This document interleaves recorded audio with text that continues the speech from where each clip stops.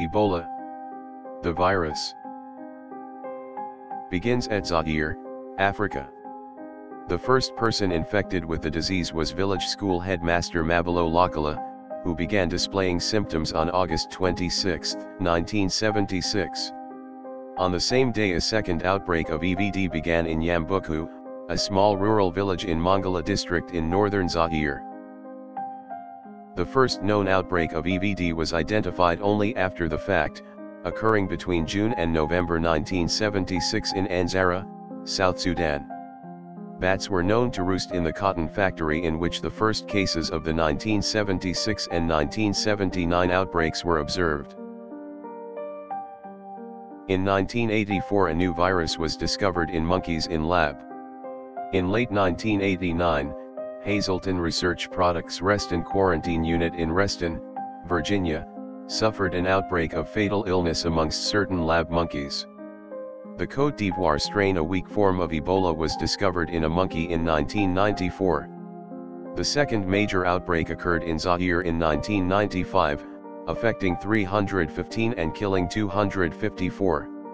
S between 1976 and 1998, in 30,000 mammals, birds, reptiles, amphibians and arthropods sampled from regions of EBOV outbreaks no Ebola virus was detected apart from some genetic traces found in six rodents and one shrew collected from the Central African Republic.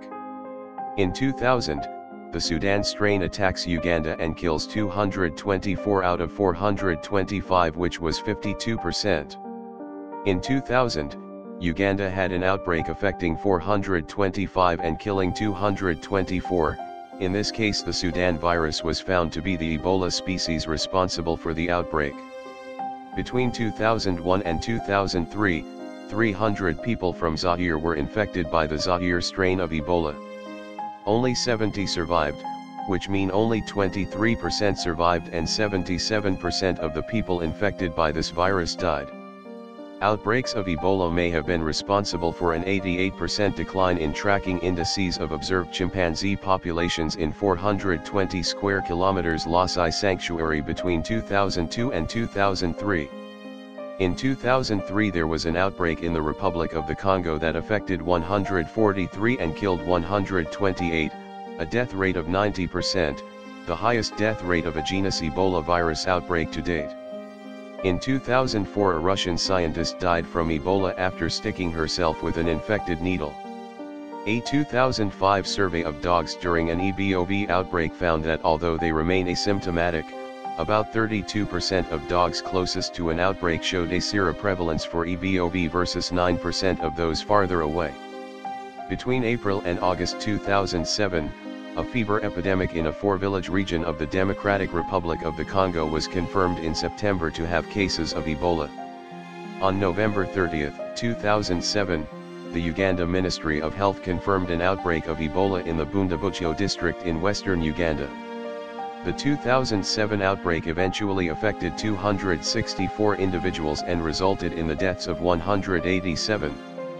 On August 17, 2012, the Ministry of Health of the Democratic Republic of the Congo reported an outbreak of the Ebola Bundibugyo variant in the eastern region.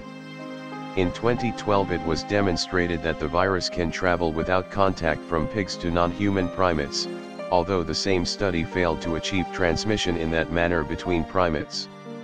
In March 2014, the World Health Organization reported a major Ebola outbreak in Guinea, a Western African nation.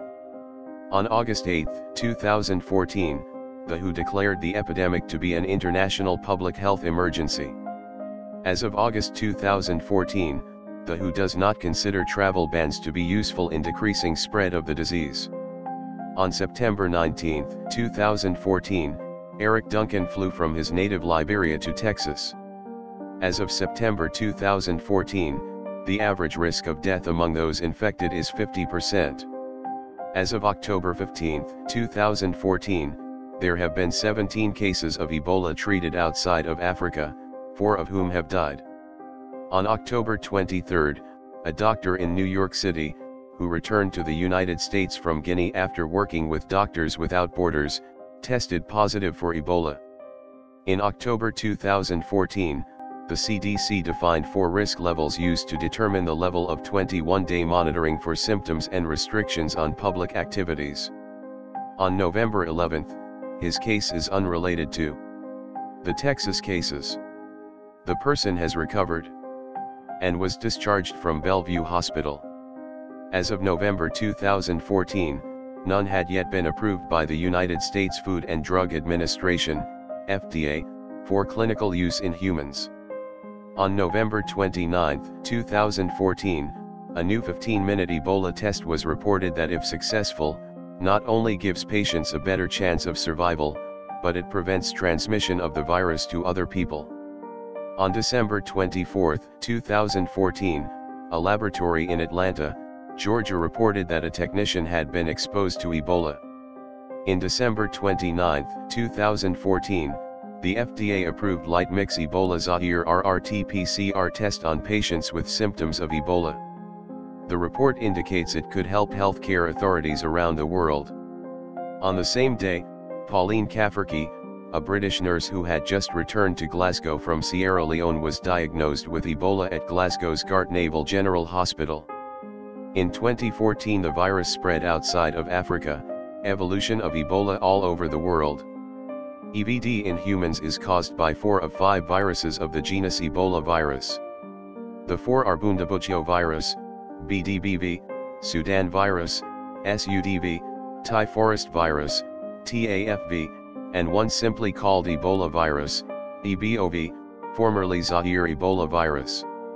Between people, Ebola disease spreads only by direct contact with the blood or body fluids of a person who has developed symptoms of the disease. As of January 3, 2015, this outbreak has 21,206 reported cases resulting in 8,386 deaths. This virus is so deadly, there is a potential for it to be used as a biological weapon. New drug, termed ZMapp, was developed by a biotech firm, MAP Biopharmaceutical, include. Several years ago, this company and the National Institutes of Health and the Defense Threat Reduction Agency were tasked to develop a treatment for Ebola virus infection. ZMapp is an experimental biopharmaceutical drug comprising three chimeric monoclonal antibodies under development by MAP Biopharmaceutical as a treatment for Ebola virus disease. The drug was first tested in humans during the 2014 West Africa Ebola virus outbreak, but has not been subjected to a randomized controlled trial to determine whether it works, and whether it is safe enough to allow on the market. Documentary by Sasitharan Muthusamy